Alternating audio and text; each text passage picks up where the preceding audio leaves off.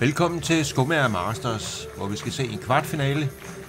Og den står mod mellem øh, herren her, Thomas Langgaard, som i øvrigt slog øh, Brian Nielsen i 8. finalen og dermed blev klar til, øh, til den her kvartfinale. Og så kommer hans modstander her. Han hedder Anders Munk. Og han slog øh, Thomas Andersen i øh, 8. finalen. Og ja, mellem de to, nu er det så øh, Thomas Manggaard. Det er ham, der sådan set er, er favoritten, men øh, skummer det er jo noget hissigt noget. Der bliver spillet bedst af fem sæt, og øh, hver sæt går til 70 point. Der bliver lagt ud med en underhånds. Prøv at tage midterstriben, måske det også. Det kom så ikke her. Altså, det er tit den hvide, den lige drejer af, når den rammer kejlerne.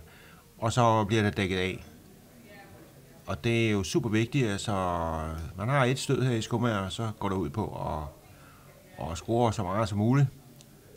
Og så og, og lægge dårligt op til modstanderen, hvis det kan lade sig gøre. Ja, det var ikke nogen god start her for, for Anders. Han, øh, han fik rød hul, og det vil sige, det var modstanderen Thomas, der, der fik øh, pointene her. Der var, altså rødt og bleg giver 4 point, og kejlerne de giver 2 point hver. Hul, det er 2 point. Men når det er den røde, så, så går det altså til modstanderen. Det er en fejl. Og så øh, specialstød, hvis man vælter midterpinden alene med alle kejler på, på bordet, så er det 6 point. Og den sidste specialregel er, hvis man vælger, vælter alle kejlerne i et gennemløb, så giver det 16 point. Men det er sjældent.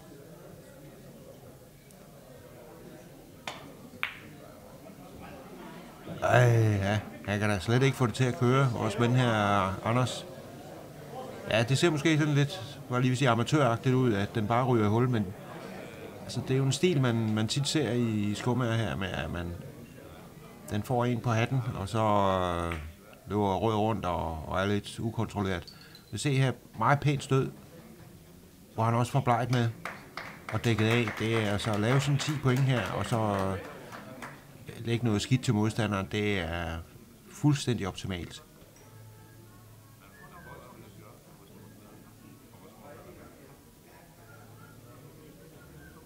Ja, det er en forfærdelig start, han har fået, Anders her. Vi kan se, øh, uh, 32, de spiller til 70. 32-0. Ej, okay, det en gang til. Ja, vi er nødt til at sige, uh, at det her, det var skidt spillet at han ikke kunne ramme hvid. Det var helt forfærdeligt. Altså, men så dårligt, som han har spillet her, Anders, det bliver han ikke ved med.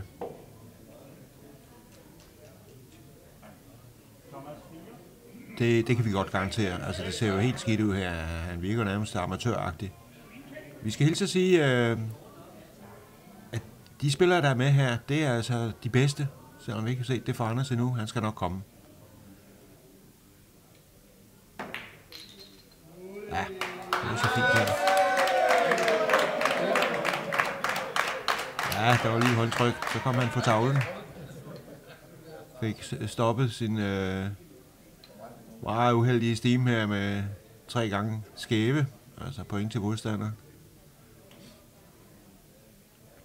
Men altså, Thomas er foran med 40, og, og som sagt, de spiller til 70. Og vi ser her for eksempel spiller en anden gang spids, og så øh, bare laver fire point, og ja, okay, han, øh, han får lagt noget rigtig svært her. Sværbal, og så med rødt også.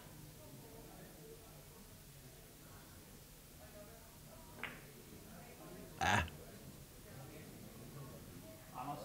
Den var ikke tynd nok til at give kejler. Men som sagt her, altså, fører med 40 point. 50-10 nu. Og de spiller til 70. Øh, det er 99% sikkert, at øh, Thomas han vinder det her første sæt.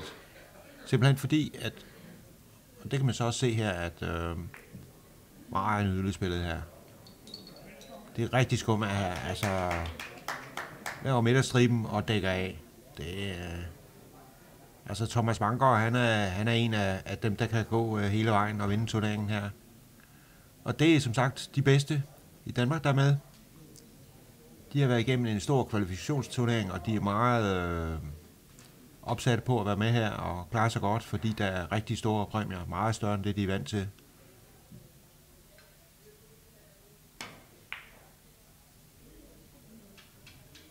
Ja, hvis den kommer. Ja, det gør den.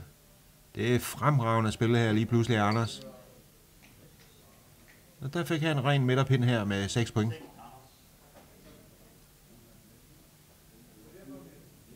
Ja, nu skal vi se noget sjovt. Han spiller bare hul her. Og så ned og, og, og lægger den. Nu kommer den hvide, den, den bliver altid lagt i modsat ende af den anden hvide. Så nu skal han ud og spille en tværvalg. Og der kan vi se, at han er ikke øh, klubspiller. Han kender ikke det der diamantsystem, hvor han ville vide præcis, hvor han skulle ramme. Han, øh, han gætter sig lidt. Og det var ikke godt nok. Den skulle have været dækket af her. Det blev den ikke. Nu går han ned og, og spiller banden først.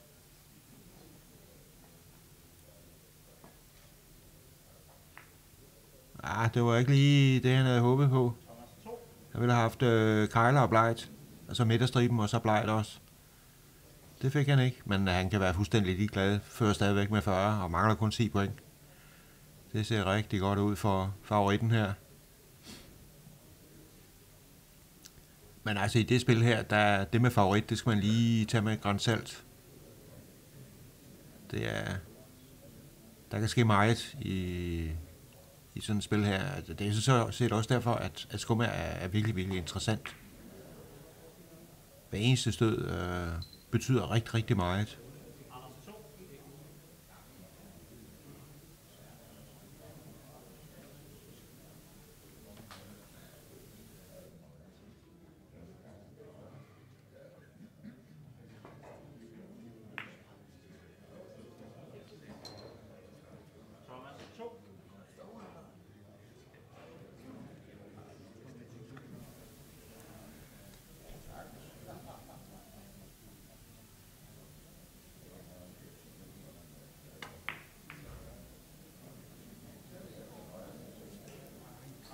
Ja, han, forsøgte noget typisk her. At spille øh, hvid mod hvid. Så får han jo automatisk fire point. Og så øh, få dem til at, at, at rende op i kejlerne. Det lykkes jo ikke. Det er også rigtig, rigtig svært. At spille hvid på hvid, og så skal op i kejlerne. Ikke? Se, han laver bare de der fire. Ja, og behøver ikke at bekymre sig om meget. Nu mangler altså man skal lige, de, de, de sidste to point, det skal være, det skal være en pind. Man kan ikke gå ud på rødt, bleg eller hul.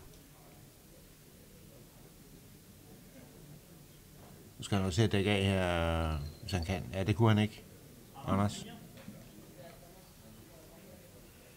Det var for blød rød. Skulle lige have løbet over og gemt sig om bag øh, kejlerne for at forhindre Thomas i at, at score. Ja.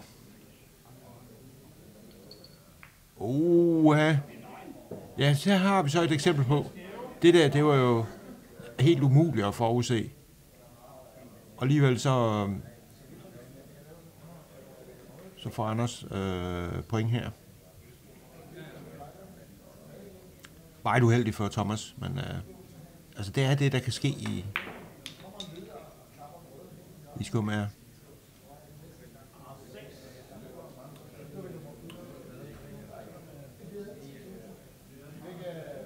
Vi havde faktisk en, en helt usædvanlig øh, situation tidligere i turneringen, hvor der blev øh, væltet øh, fire pinde med, med hvid valg.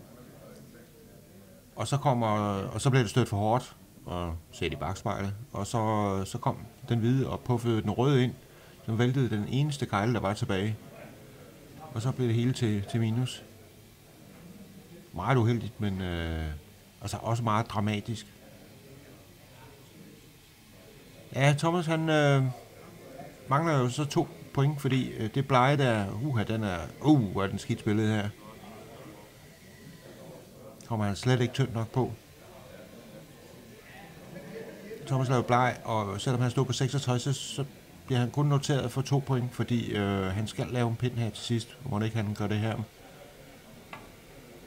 Ja, sikkert nok. Så skal han bare lige sørge for, at rød ikke går i hul. Det gør den ikke. Så meget sikkert første sæt til Thomas, men historien om det sæt, det var jo helt klart, at øh, Anders han øh, tre gange i streg øh, lavede minus, og det kan man ikke tillade sig. Så skiftevis udlæg, så nu må Anders op på hesten og, og se at holde op med at, at lave de der minus. Og vi ser, det er standard, det der med langbal under hånden, og så dække af. Det gør de alle sammen.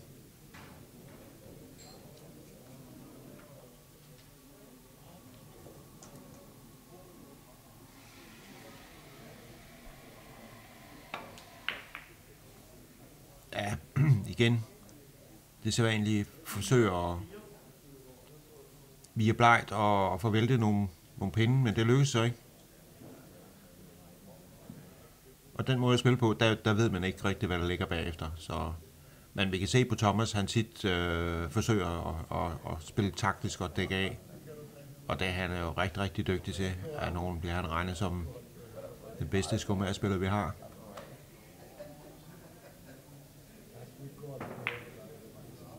Spiller i øvrigt også øh, fortsat gejler.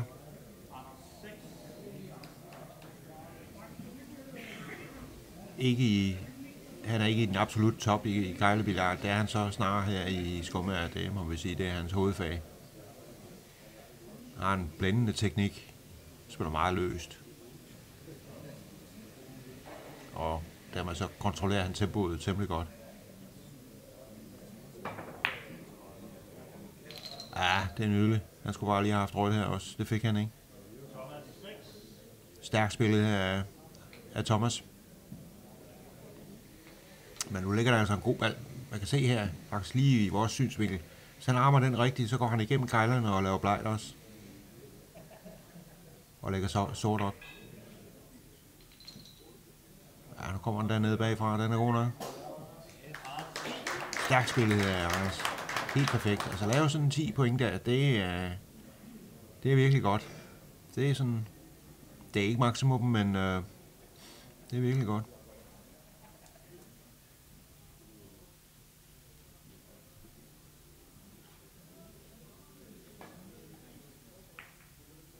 Ej, det er Det er virkelig lækkeri, at der bliver lavet her.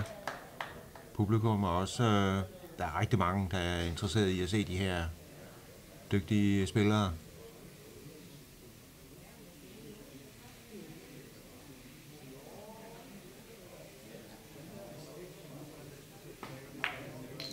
Ja, og vi kan se det, altså det der, de gode skummerspillere, de kan bare lave de der midterstriber der. Men den er jo ikke dækket af. Så man kan sige i princippet, man skal jo også tænke sig godt om her, fordi hvis man laver en midterstrip, men lægger op til, at modstanderen også laver en midterstrip, så har man jo ikke rigtig opnået noget.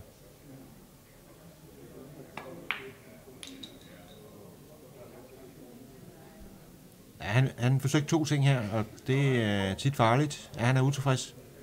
Han vil lave midterstriber og rødt, og han fik kun en enkelt pind.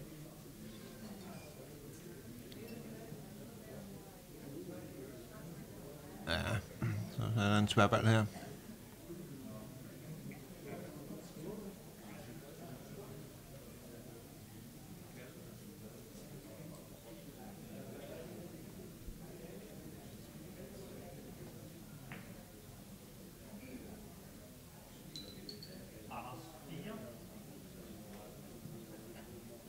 Ja, det er et helt andet sæt. Øh, med henblik på øh, den måde, Anders han spiller på. Det er lige så snart han holder op med at, at lave alle de der skæve der, altså minus til modstanderen, så Oh ja, den ramte han skidt. Eller kan han trække den ind? Nej, det kunne han ikke. Han forsøgte ligesom at trække ballen tilbage. Men øh, jeg er ret overbevist om, at han har efterladt den sådan der med vilje. En rigtig dårlig vinkel på, på hvid. Svær kvart her. Ja, godt lavet. Ja, jeg ville gerne have haft rødt med også.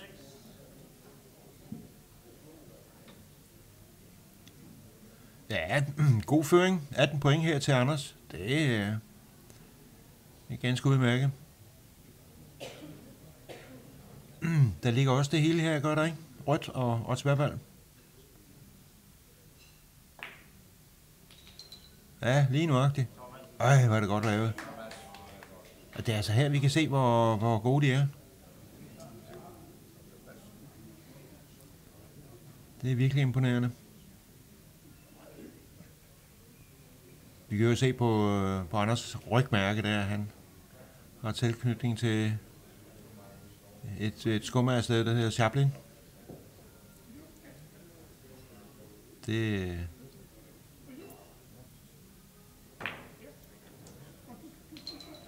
Ja, næsten midt af striben. Og den går ikke i hul. Den er stadigvæk foran med 12, Anders her, men øh, ja, 12, det kan man jo godt lave i et enkelt stød, så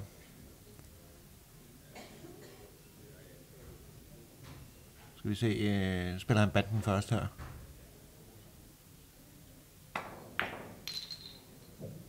Uh, hvad var det ellers godt lavet, men holdt op, var han var han, øh, ude at svømme der med, med rød ball. Der kan vi se sådan en, en ball, der til synligheden øh, så, så helt håbløs ud. Så laver han bare fire pinde, 8 point. Det er altså nogle rigtig, øh, ja, det vi kalder hajer. De er gode, de her. Og så er det blevet lige. 40-42.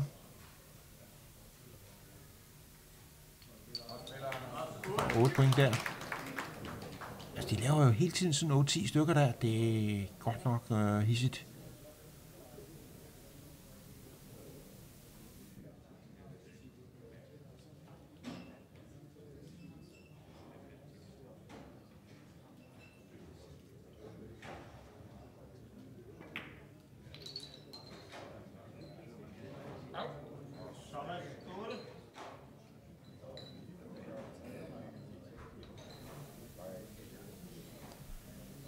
Det er et helt fantastisk sæt, det her. Det er helt vildt så godt, de spiller.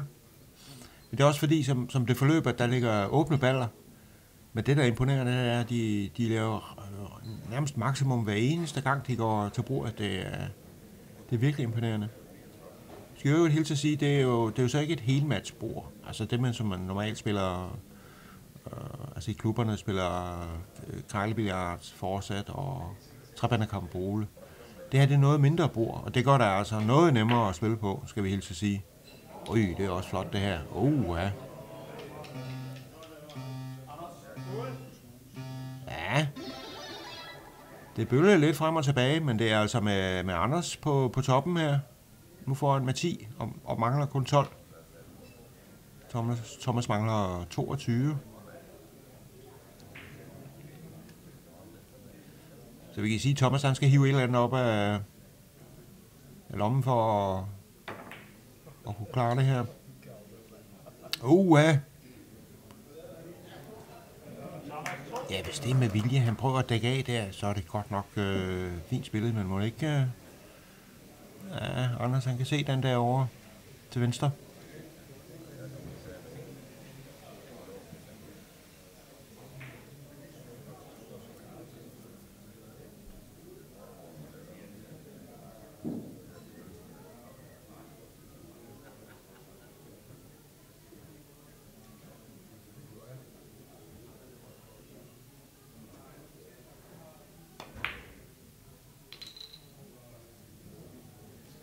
Ja, det er også super spillet. Han rammer den helt perfekt. Og man kan sige, øh, man kan sige, det er lidt en kedelig ting ved den form for skummager. Der findes to former for skummager. Ja, der findes mange, men altså de to hovedtyper. Det er enten med to hvide som her, man typisk spiller med i København, og med en hvid, som man mere tenderer til at spille med i, i Jylland. Ja, grunden jeg ikke aner, hvad der kommer fra. Og det er to vidt forskellige spil. Og det her med to hvide, det, øh, det er tit noget med, ikke her. Åh, oh, han ville gerne have haft bleg måske i, i at dække af her. Det der er ved to hvide, det er, at øh, man tenderer til at støde meget hårdt, fordi jo længere de hvide de løber, jo større er chancen for, at de på et eller andet tidspunkt øh, futter op i kejlerne. Mangler han fire point. Han er lidt usikker i tværballerne, det så vi før. Øh, ja. Men det var ikke så tosset. Prøv, hvor er den pakket ind, som det hedder. Jeg er ikke sikker på, at han kan se øh, den hvide der, altså den, den kejl, der er nærmest også her, øh, er i vejen. Det er rigtig skummager, det her.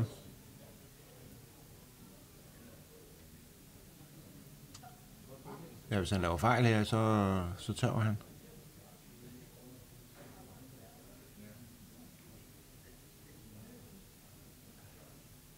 Ups. Han væltede forpinden. Ikke specielt godt spillet. Det, det, må, det må jo ikke ske. Så øh, andet sæt her, det røg så til, til Anders. Og igen, altså den forfærdelige start, han havde med alle de der minus, han lavede i, i starten af første sæt. Der har han øh, formået her at,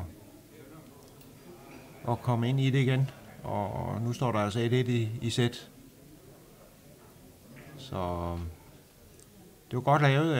Anders kom foran meget tidligt, og, og kunne altså holde føringen hele vejen. Det var altså set i bagspejlet. Uh, et helt fantastisk sæt, hvor begge spillerne øh, lavede en forfærdelig masse point hele tiden. Rigtig, rigtig flot skovmager.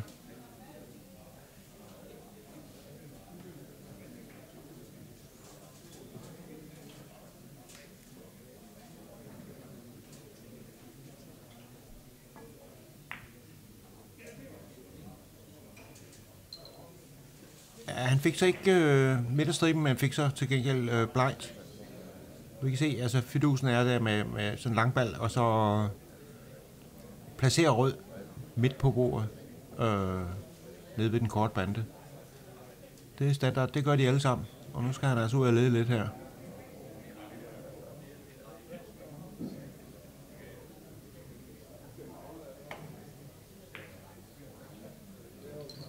Det er altså også super flot spillet, men altså, spørgsmålet er, om det, det var det, han ville. Det er svært at sige. Det så ud, som om han lige løftede hånden, sådan en undskyldning. At det ikke lige var det, der var planen.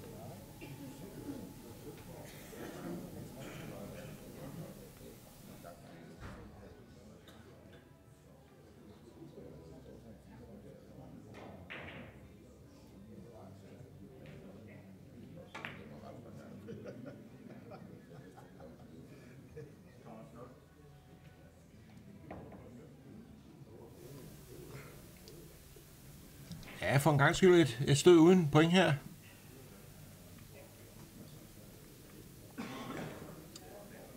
Man kunne måske godt tro, at, at sådan et spil her, at, at hvis man nu bare dækker af hele tiden, og så lader modstanderne lave fejl, så, så vil man vinde.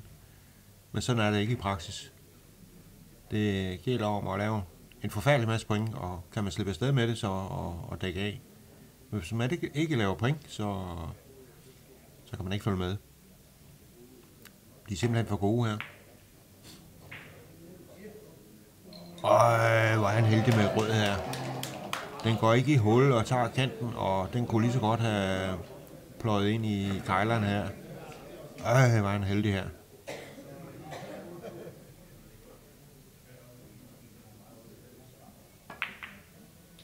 Åh, super lavet her, Thomas. Det er... Ja, 12 point laver han her. Det er utrolig godt ramt, det han laver der. Det er altså... Som sagt, det er en af dem, der kan gå hele vejen, Thomas. Ikke for at forklare noget, Anders, men øh, Thomas er normalt øh, den stærkeste af de to. Og det, der er interessant ved Thomas Mangård, det er, at øh, at det er sgu mere, øh, når det er allerbedst. Ej, nu laver han det der igen. Og vi kommer med en forudsigelse her, at når han laver det der, så tager han. Det er ikke sikkert, øh, men det må man simpelthen ikke, det der. Selvfølgelig havde han et problem med, at der var en risiko for at røde rent i, men så, så burde han simpelthen have fundet på noget andet. Det er alt for farligt at, at lave minus. Det er, vi så faktisk her i ansæt, sæt, hvordan de fulgte sad hele tiden og lavede øh, 6-10 point øh, hver eneste gang, de gik til bordet. Så når man forærer modstanderen, så, så er det et alvorligt handicap. Uh, ja, den brænder han. Han vil lave midterstriber blegt. Det fik han ikke. Men stadigvæk 4 point.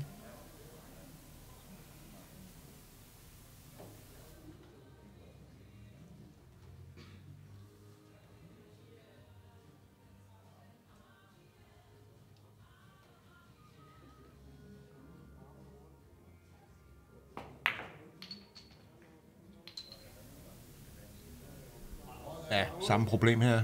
Ville gerne have haft midterstriben. Det fik han ikke, men stadigvæk 8 point.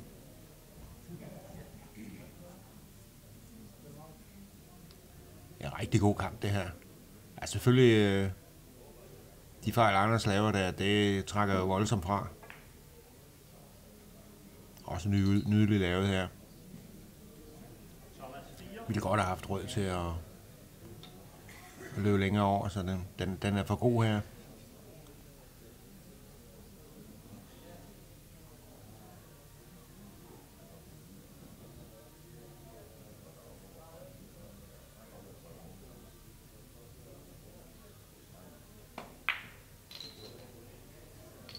Ja, ballen fejlede ikke noget, men øh, altså det er så også lidt typisk.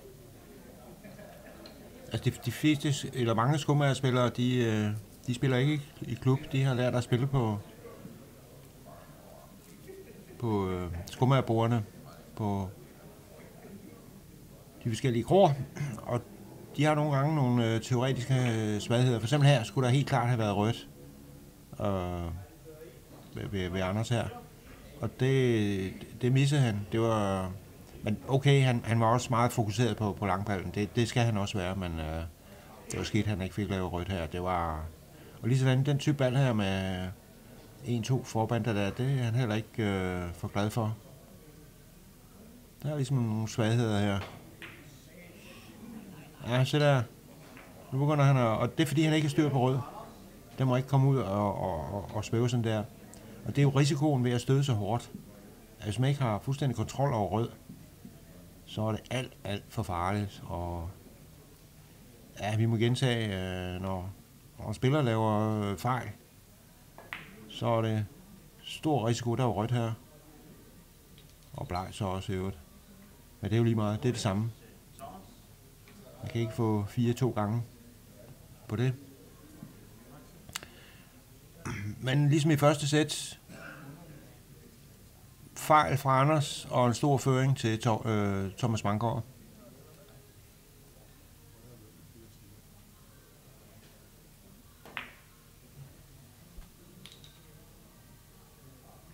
Ja, nydeligt spil her. Manglede sådan set lige øh, midterstriben, men det var, det var svært. Men igen se, den er for god her.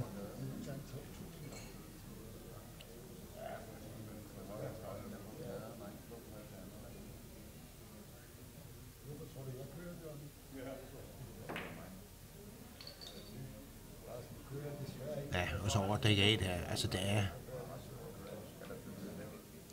Det er rigtig godt spillet af Thomas her.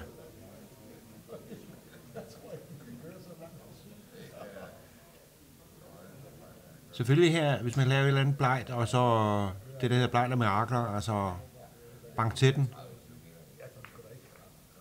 Øj. Super, super stød her, Anders. Øj, hvor var det godt lavet.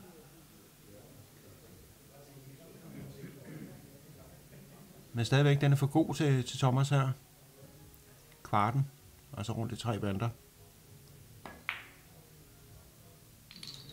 Ja, sikkerheden selv. Ja, han kan bare pløje den hjem nu. Han har kun 8 point.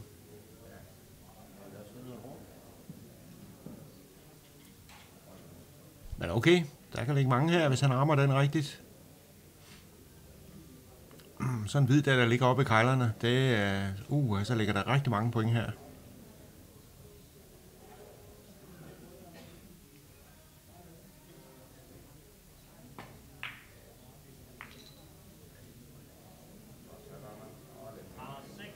Ja, det var ikke specielt heldigt her.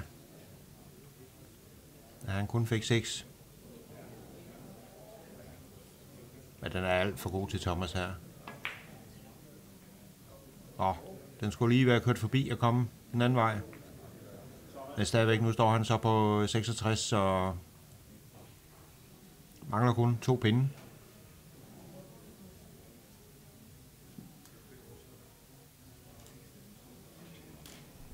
Og den ligger ikke ret godt her til, til Anders. Den ball nede ved kortbanden, den kan han i princippet godt trække i en, i en spids.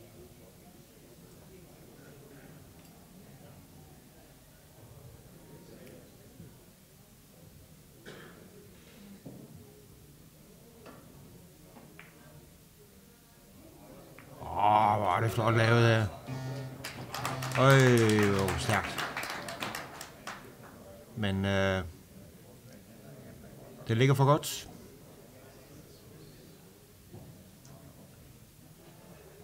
Jeg lukker nu her. Ja. Stensikker midterstribe. Og stensikker sæt til Thomas. Og vores forudsigelse om, at øh, da Anders begyndte at lave minus, at han ville tage, det holdt stik. Og vi kan se, at han tager med 14, ikke? Altså, det var nogenlunde det, han, han lavede i minus. Så det er super vigtigt. Altså, og det er jo også det, der er interessant ved, ved det her spil. Der er enormt pres på at lave mange point. Det kan vi jo se, det gør de hele tiden. Men så også sørge for at øh, ikke at, at lave minus og øh, at forsøge at dække af. At man, vi kan også se her, at Thomas altså, han er noget bedre til at, at dække af end, øh, end Anders er. Så Thomas mangler et sæt nu for at vinde. Og Anders skal vinde de to sidste sæt her for at, at vinde kampen.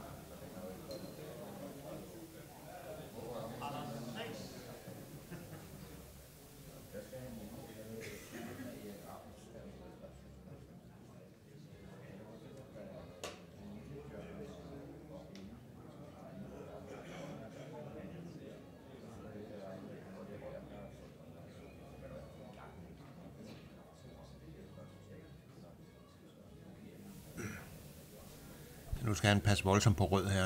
Den kan gå i, øh, i hullet. Nej, det gør den. Det må jeg indrømme, det kan jeg ikke forstå. Altså, vi har omtalt, hvor, hvor dygtige de er. At de laver sådan en, at det her, det vil, altså, det er jo nemt selvfølgelig altid at være, være grov, når man kommenterer her, men øh, det der, det er, hvad man kalde en begynderfejl. Rød må aldrig nogensinde komme i nærheden af det hul der. Det er en foræring. Og lad os se, om det holder stik, at øh, Thomas vinder den her, eller taber den her, det her sæt, på grund af den fejl her. Det er selvfølgelig slet ikke sikkert, men øh, lad os nu se.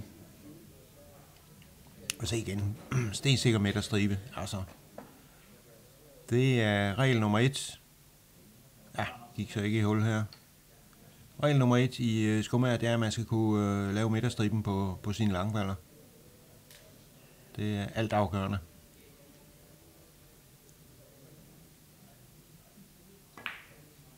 Prøv at se sådan en kvart her. Ren midterpind. Tak for kaffe. Ja, det er blændende.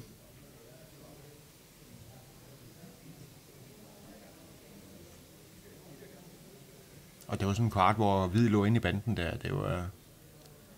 Det skal vi helst sige, det er ikke øh, det nemmeste.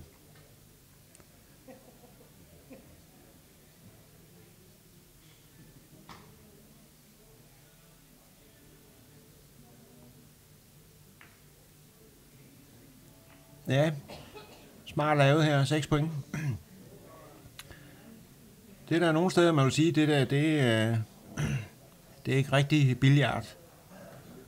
Men øh, det er, det er turnering, og der er pengepræmier på. Alt er tilladt. Bortset fra at genere modstanderen. Det må man ikke her. Åh. Oh. Øj, hvor er han heldig her.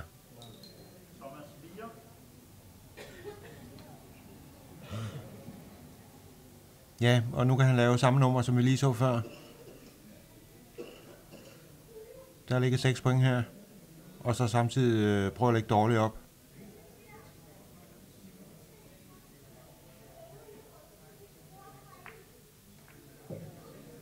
Ja, det lykkedes så overhovedet ikke.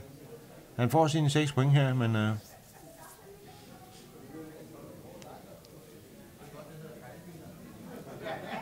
det der er galt her, det er, at der ligger en langbal. og nede bag midterstriben, der øh, venter en, en hvid her. Så der ligger 10 point. Nu skal Thomas bare lige sørge for at lade være med at lave samme nummer med at smide øh, rød hul. Det,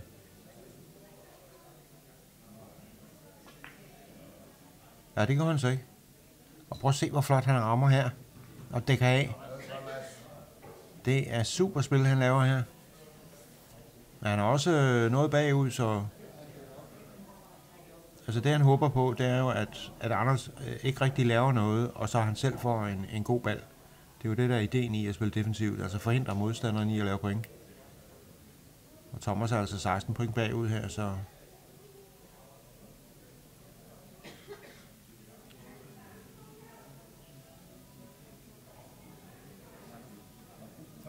han er lidt i tvivl om, hvad han...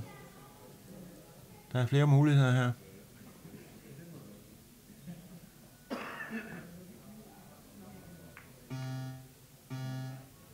Ja, at spille kombinationen der, det var ikke puha.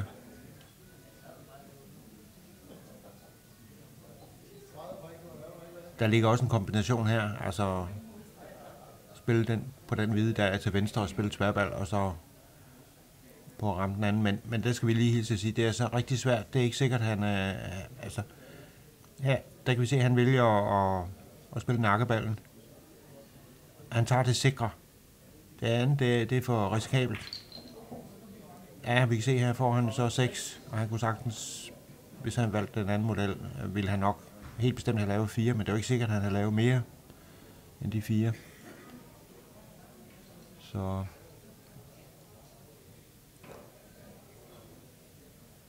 Ja, ligger der en langball her?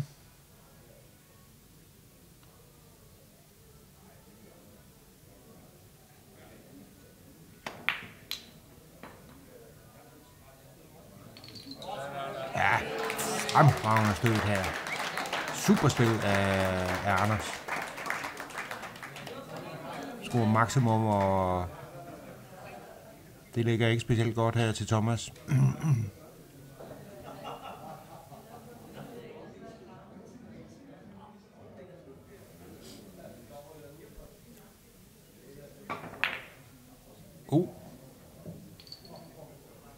Det går da helt skidt her for, for Thomas. Uh, ja.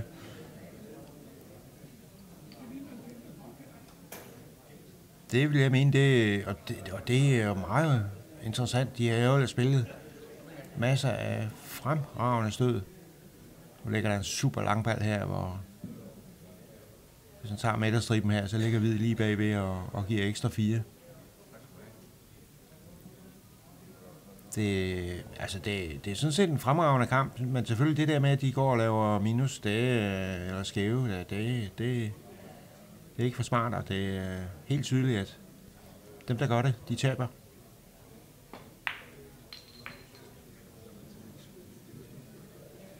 Ja, jeg er lidt heldig med, at Hvid kommer ned fra hjørnet, men... Uh, ja, nu mangler han kun 6 point. Den er stensikker, den her at Anders han kan nuppe, nappe øh, fjerde sæt her. Ah, nydelig lavet her af Thomas. For dækket af her. Man må jo ikke støde direkte her i, i skummer. Der skal altid, øh, han skal ud i en bande her. Og der har han altså været usikker på.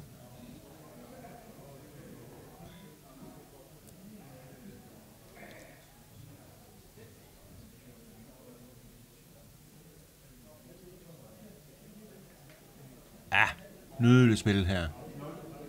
Og prøv at se, så har vi igen situationen. Den er noget anderledes her.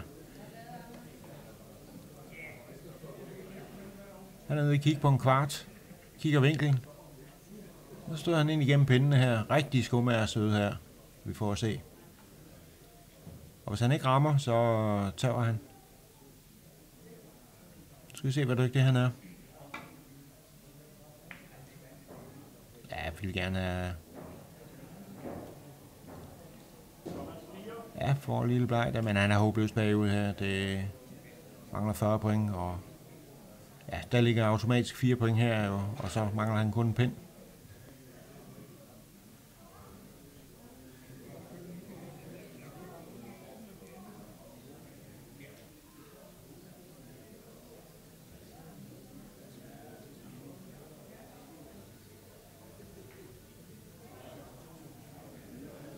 Åh, han forsøgte at dække af her, men det lykkedes ikke. Det er Thomas altså noget bedre til. Men stadigvæk, det, det er godt nok håbløst her for, for Thomas. Ah, hvor smart. Han prøver, han får fire point her, og, og så ligger han den ned ved kortbanden. Og det hjælper ikke noget for Anders at lave fire her, fordi øh, han skal lave en pind.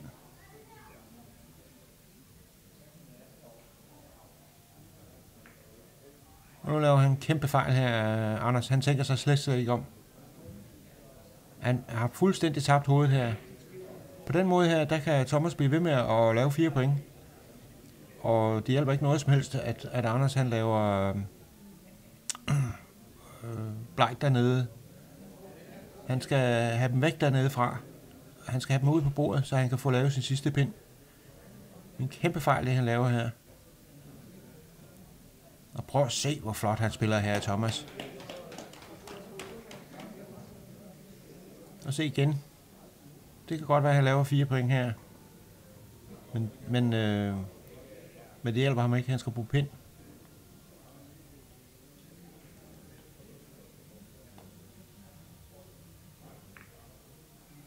Og de ligger der stadigvæk dernede. Det er helt usædvanligt. Øh,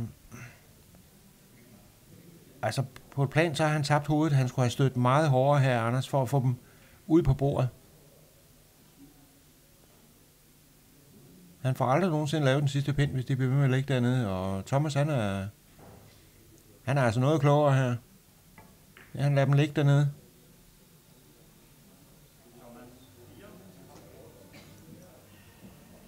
Og han får fire point hver gang. Han er stadigvæk øh, langt bagud, altså mangler 28 point, men øh, det er ren færing.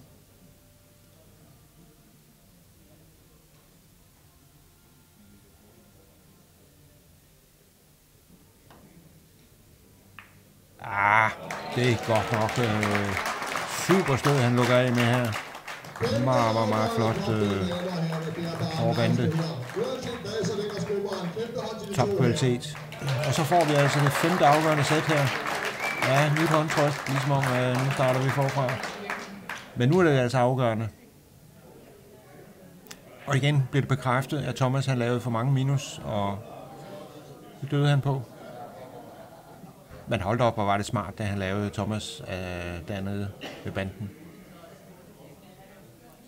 Fik lavet mange gange fire point, hvor Anders ikke kunne komme videre. Femte afgørende sæt, det er super spændende det her, og det er en rigtig god kamp. Der bliver lavet rigtig mange flotte stød her.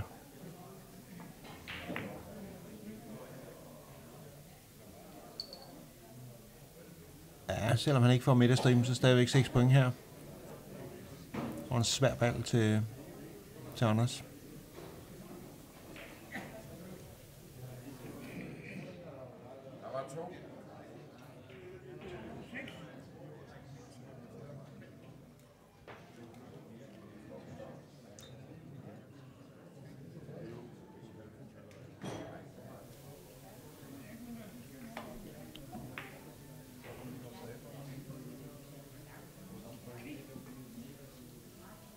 Ja, og det er jo det.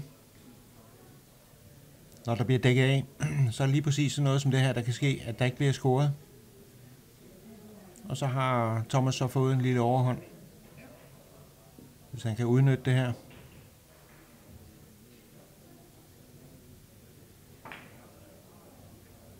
Ja, prøv at se, hvor præcis det er for midterkejlen på, og så ja, forsøgte i hvert fald at dække af. Den er ikke øh, vildt god her. Svær valg.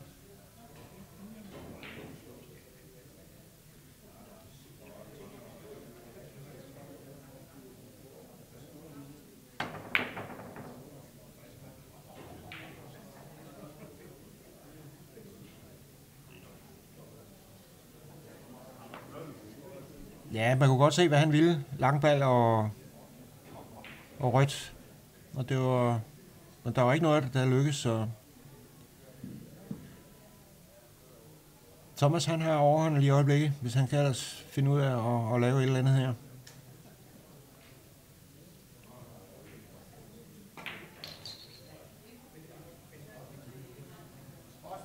Ja, det er så.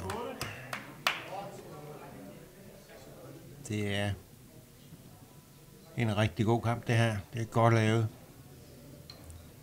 og så se, hvor, hvor meget øh, omtanke øh, vores gode ven Thomas han har i, i sit spil. Altså, han, øh, han er taktisk rigtig, rigtig dygtig. Spiller han højspids her. Altså lang, kort bande. Uh, ja. Og misser det røde også.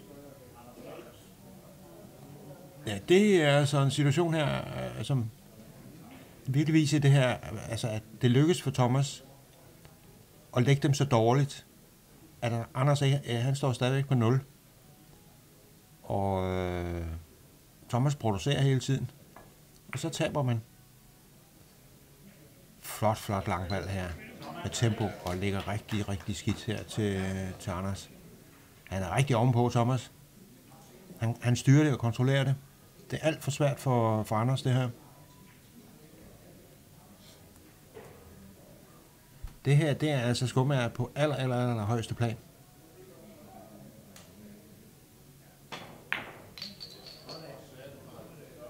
Ah, det er, prøv at se det, Anders. Det er super lavet, øh, Anders. Og vride 10 point ud af, af sådan en forfærdelig, et forfærdeligt oplæg, det det er helt, nærmest helt utroligt. Han er ikke specielt heldig her, fordi øh, der ligger en overkommelig tværbal, og Hvid ligger om bagved med ekstra fire.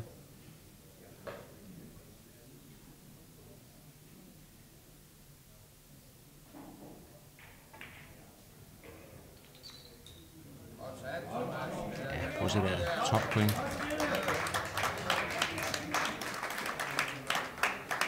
Det kører også godt for Thomas. Han får den dækket af her. Det er godt nok øh, svært for Anders her.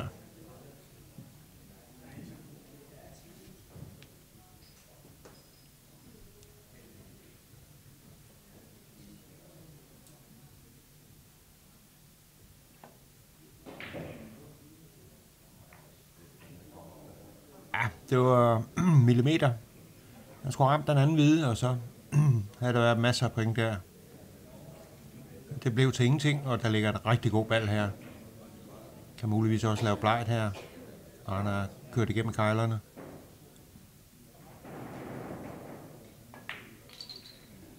Ja, lige nøjagtigt. Og igen her kan vi se det øh, tårnhøje niveau, de har.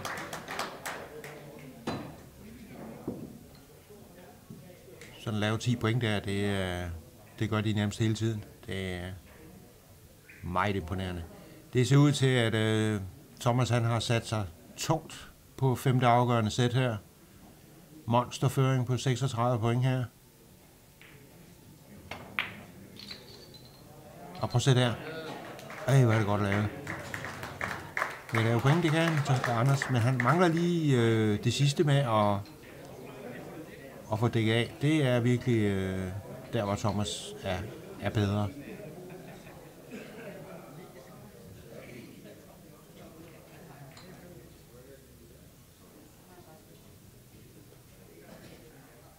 Spiller han højspids her. Prøv at se, hvor fornemt. Og igen 10 point her. Det er altså helt vildt. Det er en fattelig god kamp, vi har gang i her. Ja, og nu er han så højt op, Thomas. Det kan han bare styre det nogenlunde, så, så vinder han femte afgørende sæt her.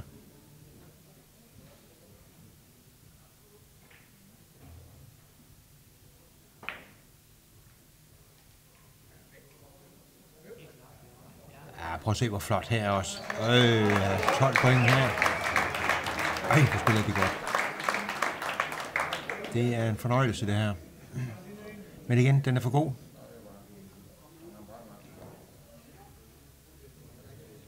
Spiller spids, og så er der måske en der bleg dernede også.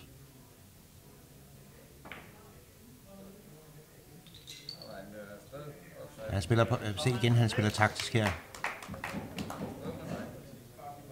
Lægger noget skidt til, øh, til Anders. Det ser ud til, at Thomas han, han vinder det her. Det er ikke helt afgjort endnu. Anders har også lavet nogle helt fantastiske stød med, med 12 point og alt muligt, men øh,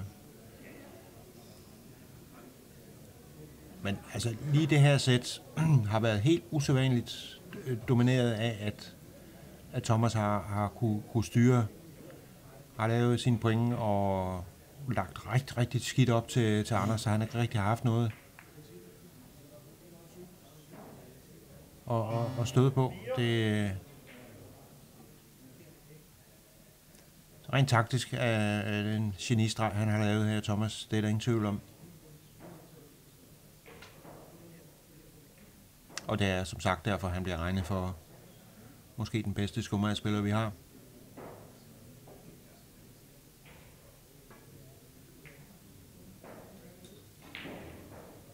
Ja, Mm, lidt billig. Men 4 point, og han mangler kun 8 nu. Det ser rigtig godt ud for Thomas Manggaard.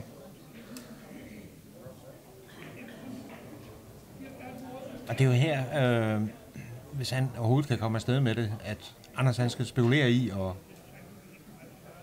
og dække af. Hvis han kan. Men det er ikke nemt.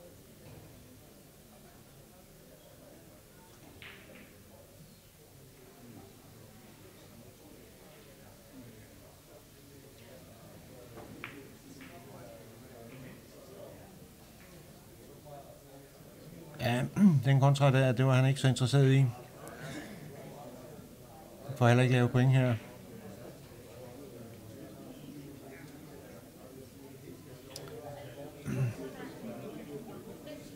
Ja, sådan en rigtig skummer spiller. Der er sådan en tværvalg her. Det er Guf,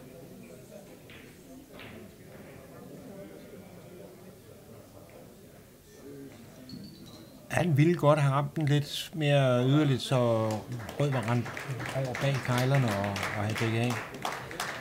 Ja, det var jeg ret ligeglad her. Han mangler kun én pind. Så er det overstået.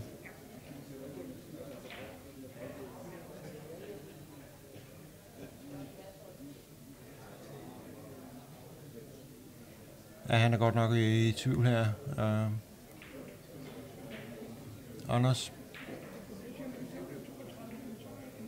Han skal dække af her. Ellers er festen slut.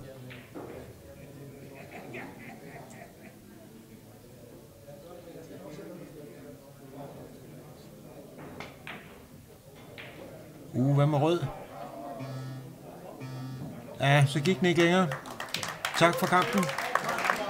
Og stensikker sejr til øh, her i, i femte afgørende sæt til Thomas, som kvalificerer sig til semifinalen, og tillykke til Thomas Mangård.